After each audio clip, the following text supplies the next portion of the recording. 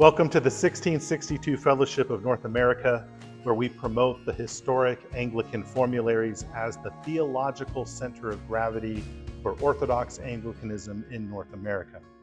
I am Isaac Rehberg, the Archdeacon for Liturgy in the Anglican Diocese of All Nations and the Rector of All Saints Anglican Church in San Antonio, Texas. Today is episode seven of our podcast, and we're going to continue our series that I'm calling the Book of Common Prayer Vision. And we're going through uh, some of the essential elements of Archbishop Cranmer's preface to the original Book of Common Prayer in 1549, that's also included in the 1662 as an essay concerning the service of the church. So last time we introduced that preface, that preface from 1549, gave you a little bit of background on Archbishop Cranmer himself, and we talked about how Archbishop Cranmer um, saw the prayer book as a return to ancient patterns, return to the fathers. Today we're going to talk about how Scripture plays into that vision. So Cranmer argues that the fathers wanted Scripture to be read through every year in the public worship of the, of the service of the church. Um, he writes this in the preface for, for they so ordered the matter that all the whole Bible, or the greatest part thereof, should be read over once every year, intending thereby that the clergy, and especially such as were ministers in the congregation, should, by often uh, reading and meditation in God's word, be stirred up to godliness. And he goes on to describe what that looks like. And um, this is very likely a reference to the patterns we see in uh, St. Augustine and St. John Chrysostom, where they did systematically preach through books of the Bible. Um, we have many of those sermons still with us. Um, and so the uh, and that was in the context of public worship. So they would read and they would preach and they would read and they would preach. And to this day, you'll find a lot of preachers quote from Augustine and Chrysostom because we have those old homilies that they wrote. Um, and what Archbishop Cranmer tells us is that following this pattern of reading the Bible through in public throughout the year leads to ministers who are stirred up to godliness, ministers who can exhort their parishioners to godliness, and ministers that can confute error, that can, that can combat heresy and error. And he says the people, in turn, will learn more of God. They will learn about God. They'll learn to love God. They will be, quote, be the more inflamed with the love of his true religion. So, unlike the medieval church's corruption of the use of scriptures, Archbishop Cranmer says that the scripture the scriptures need to be read publicly in a way that is comprehensive, systematic, and understandable. And so, how does the prayer book approach this? Well, we've got several different approaches to Scripture. The one that we would encounter the most are the daily offices, those readings for morning and evening prayer. And these are presented in the classical prayer book, um, represented, I would say, in the 1662 International Edition, um, in, a, in a way that is reading systematically through the scriptures.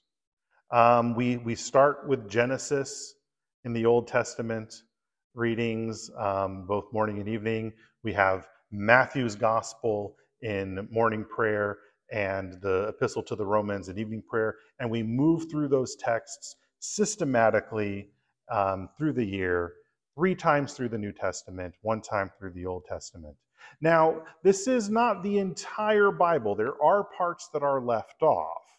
And what ends up getting left off are those things that are going to be most confusing without having a preacher to explain it to them. So not everybody has a St. Augustine or a St. Chrysostom that can uh, preach through all those texts. Sometimes, most for most of us, we're just going to be hearing those texts in the daily offices.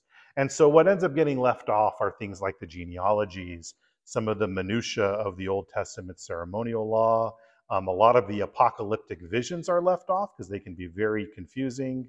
Um, parts of the story that are repeated uh, between Kings and Chronicles. We have the Kings version in the in the lectionary, not the Chronicles version, and then that erotic poetry from Song of Songs. But we also have a way that we handle the Psalms. The Psalms are not part of that regular cycle, but rather we chant or read or recite the Psalms through every month. We cycle through in morning and evening prayer every month. So that ensures that we have a steady diet of the Psalms. The Psalms are really special when it comes to, to the Bible. Um, this, this is something that the church started doing very, very early on in ancient history, um, largely in the context of the monastery. But the way the prayer book gives it to us is that we get the Psalter regularly, but it's not quite as often through as the monks would have. Uh, in the old days, the monks might go through the Psalter every week. Some of them would go through it almost every day. Um, we're doing it through once a month, something that is doable for regular folk. And also, we're not limiting the Psalms to our favorites. That is what often happened in the medieval church is they had certain psalms assigned for certain parts of the day, and the rest of the Psalter was just kind of ignored in the prayer life of the church.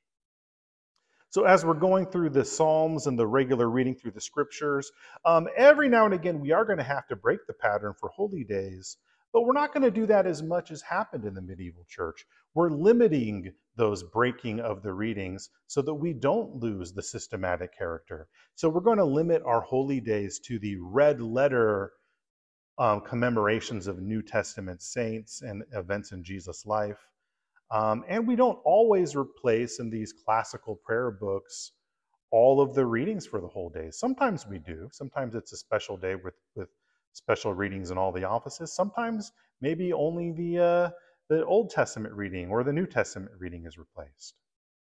But we also have special readings outside of this cycle for Sundays and holy days. So that traditional Eucharistic lectionary, the epistles and the gospels, that had been been used at Holy Communion for um, that pattern starts about uh, the year 1000. Um, it reaches its final, or about the year 500 or so, it reaches its final point around the year 1000. And so it had been the standardized for about five centuries in the Western Church. That's by and large retained. Maybe a couple of, uh, of, of minor edits to, to, to which verses if it fits the day better. But for the most part, we're maintaining that traditional single year Eucharistic lectionary. But we're also, the prayer book gives us a cycle of what we call proper Old Testament lessons. So this is outside the normal cycle of Old Testament readings for Sundays and holy days. Um, and uh, on Sundays in particular, they do take you through the Old Testament in kind of more of an overview way. So it touches on those theme, themes from the from the Eucharistic lectionary a bit, but it's all it's it's also to give us an overview of the Old Testament story. And so that's really what the what the Sunday Eucharistic lectionary with those Old Testament proper lessons do is we get an overview of the Bible story, kind of those those greatest hits, and then we're getting the details in the daily offices. Now, unfortunately, every time the prayer book was edited, and sometimes um, even during the life of the same prayer book, there's edits that are made to the daily office lectionary. The uh, unfortunately, what ends up happening almost every time is that more and more scripture is left out. Um, one of the most uh, uh, stunning blows to this happens in the early 20th century, where we start we move from having a calendar year approach to the daily office lectionary, where it's always the same on January 1st, January 2nd, etc., to one that's based on the church year. And um, because of the way that Easter moves around, there's some weeks that you don't see very often. So you know that desire to have a church year only based daily reading, it kind of um, will will naturally hurt that systematic approach to the scriptures that Archbishop Cranmer wanted to restore. Um, the readings get shorter. Uh, largely in this original version of the 1662, we have whole chapters. Now we start to do partial chapters. Um, there's fewer psalms. Uh, the stuff that's maybe makes us a little bit uncomfortable, we start to leave out. And um, that's a real problem.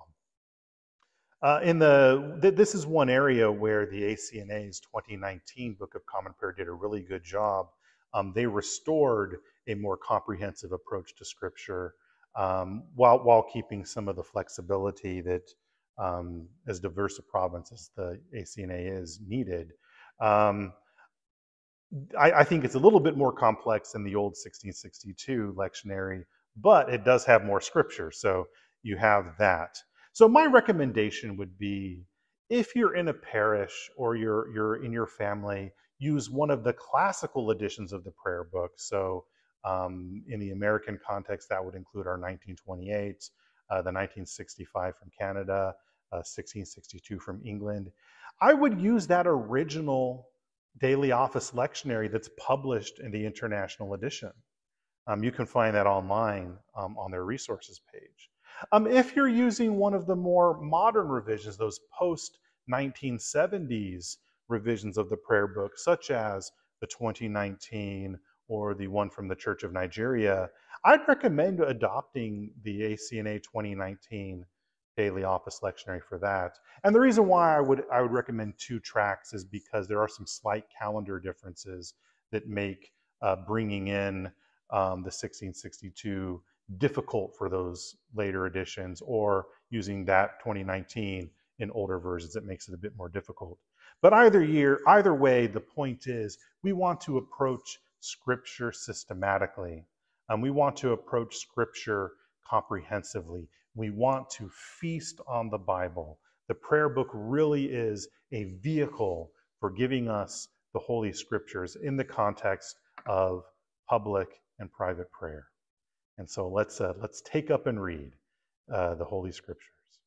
Next time, we're going to look at the, uh, the third part of this prayer book vision, and that is simplicity a simple approach to common prayer.